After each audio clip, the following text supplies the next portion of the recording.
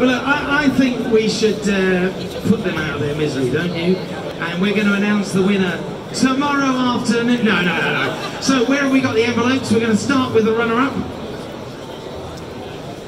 And just before you open this, uh, uh, can we give a big round of applause to all these guys here?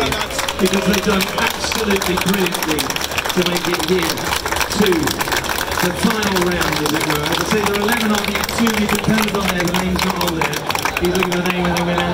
And if it was, it's not yours anyway. So, uh, no, I'm joking. I don't know. I've no idea. I've no idea. So, uh, look, tell us, who is the runner-up? This is like uh, the Oscars, isn't it? It's La La Land. No.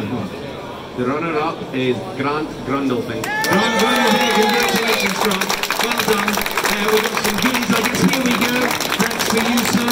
Take the applause of your industry colleagues. Well done, well done, well done, well done. Okay, well done. So, I guess now we should uh, find out who the winner is.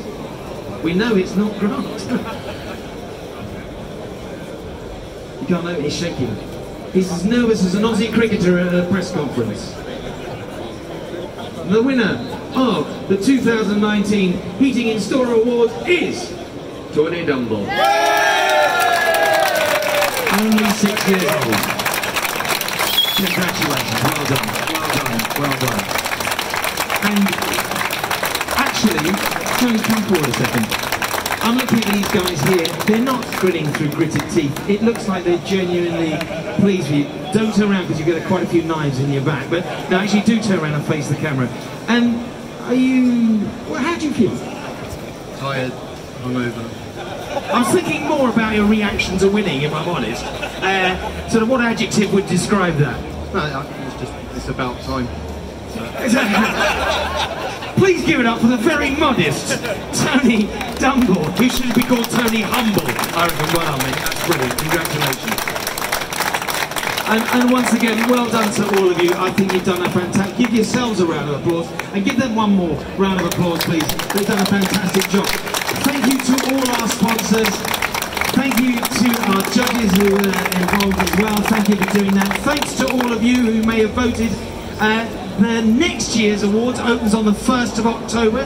The criteria will be changing a little bit again then. We're not going to tell you now, we're going to keep that a secret. Uh, enjoy the rest of the show. We've got a shaving challenge going on a little bit later. I have no idea what that's involving. Uh, and uh, I think it's Richie, actually. You don't know it, Richie. For charity, we're shaving off your entire head. Uh, and uh, just keep enjoying the show. But once again, well done to all our finalists and well done to runner-up and to our winner. Thank you very much indeed.